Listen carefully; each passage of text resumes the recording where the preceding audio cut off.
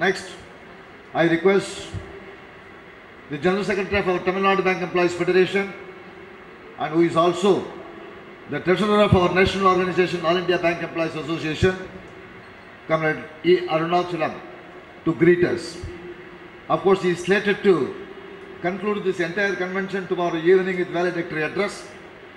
And he was telling that tomorrow I am going to speak, why now? But still, I feel he has to greet us and I request Comrade Arun to greet us.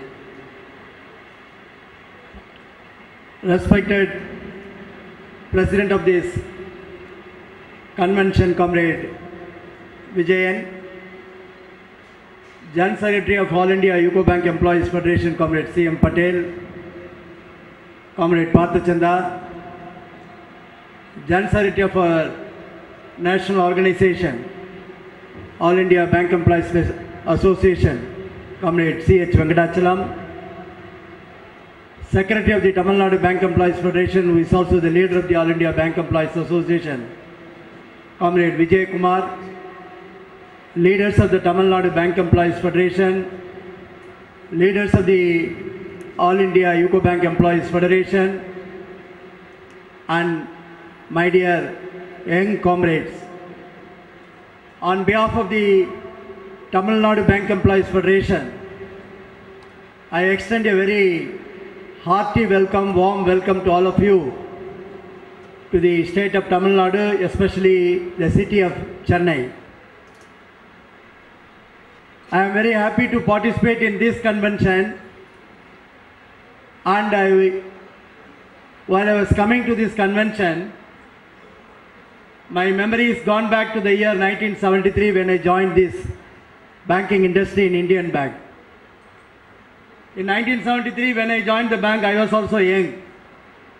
But during that period, or during my entire banking service, I never had the opportunity to attend any such convention of young bank employees convention or young employees convention like you are being given the opportunity to attend such convention. That is because of the fact during that time continuous recruitment was there. Because of the continuous recruitment that was taking place in the banking industry, need was not felt by the leaders to organize any such young bank employees convention. Always we used to attend the conference and the conference participants will be blend of young and old and it was a continuous process. But all of you should understand that there was a virtual ban in the banking industry for more than a decade and our All India Bank Employees Association and the Bankwise organization took up that cause, fought with the government, fought with the individual bank managements and because of the struggle that we have launched today in the banking industry we are seeing young comrades after a gap of more than 10 years. There was a gap in fact, it is a, a, very big gap and a very big vacuum has been created in the banking industry. Many of the leaders, present day leaders, who all joined the bank immediately after bank nationalization, are retiring from the service of the bank, are already retired from the service of the bank. And they are all occupying top positions in the union. Now the need has been felt by the leaders. Our All India Bank Employees Association has already convened a Yuva Sammelan at Hyderabad, wherein a platform was made available to all bank young comrades, men and women to participate, understand the role of the union. Our trade union organization the banking industry, we are not only fighting for the wages and service conditions, we are fi fighting for the survival of the banking industry. Today you all heard the general manager was talking about the fight to be taken up by the All India Bank Employees Association to preserve and protect the fabric of the nationalized banking system in our country. He was referring to the Indra Dhanush yesterday announced by Mr. Arun Jaitley. Nothing but iron and fire. They don't want to see the uh, regular employees working in the banking system. They want to outsource everything. They want to recruit people by way of fire. That means there will be there will not be any relationship between employer and employee. All will be outsourced. And he was telling that we have to fight.